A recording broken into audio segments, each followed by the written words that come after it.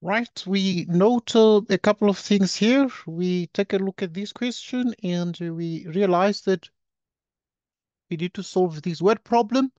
The difference of two numbers is 10 and the sum of the squares is 50. Find the numbers. So now to solve this particular question, we start as follows and we say let x let x be equal to the first, the first number.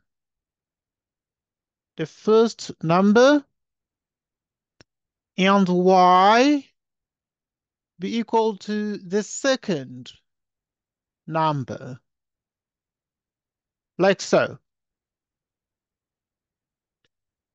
Right, moreover, we have been told that the difference of the two numbers is 10. So we take uh, the first number minus uh, the second number, and the result is exactly 10. And this implies that x equals uh, y plus 10 if we transpose uh, the minus y to the right. So the difference of two numbers is 10 and the sum of the squares is 50. And that means that uh, x squared plus uh, y squared. That means that x squared uh, plus y squared equals 50. And uh, this set means uh, you have equation 1 equation 2.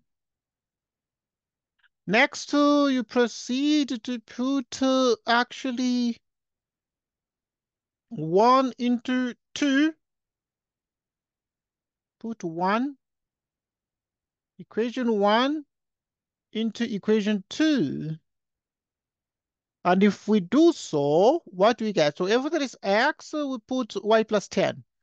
So we're going to have exactly y plus 10 or squared plus y squared is equal to 50. Right, so we proceed with this. And we solve this. So y plus 10 all squared plus y squared equals 50. If you square this, what do you get? You get y squared plus 20 y squared 10, you get 100 plus y squared equals 50.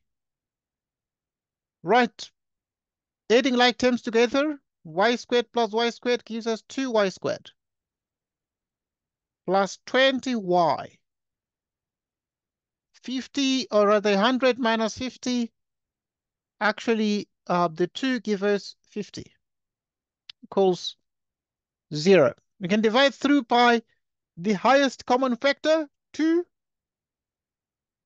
Getting y squared, dividing 20 by 2 gives us 10. 50 by 2, 25. Gives us 0. Right, next we proceed as follows. We multiply y squared and 25, getting 25 y squared. We look for two expressions whose product is uh, 25y squared, but whose sum is uh, 10y, and those are 5y and 5y, like this. Like this. Plus 25 equals 0, because 5y and 5y give us 10y, Highest common factor from the first two, terms give us this. You pull uh, this out and you have this. The highest common factor is exactly y plus 5 here into y plus 5 equals 0. Right and uh, we can transfer this uh, to the other side of the screen, like so.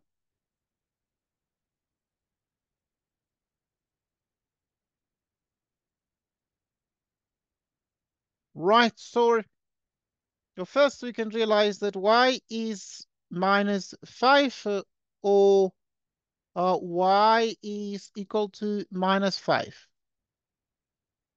Right, y equals minus 5 or y equals minus 5. But we remember the other equation?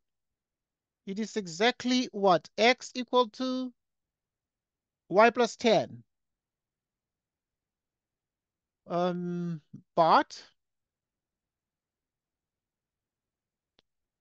but x equals y plus 10. So that, well, we have the same uh, um, result. So that y equals this one yields, y equals minus 5 yields x equals, okay, minus 5 plus 10.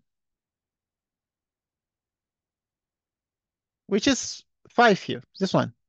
Okay. Hence the numbers are, hence, hence the numbers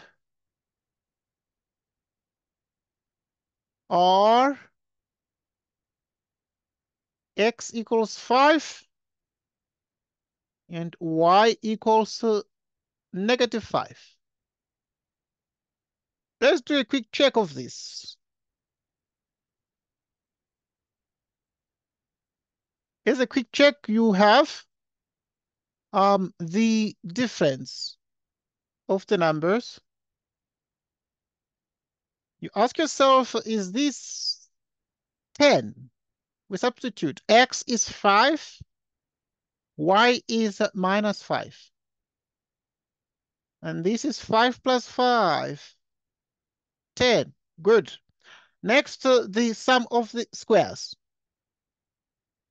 x squared plus y squared. What is x? Is 5 squared. The y is minus 5 squared. 25 plus 25, and the sum is 50. Okay, so with this said, we got the two numbers they are exactly 5 and minus 5. So thanks, everybody. Goodbye to you.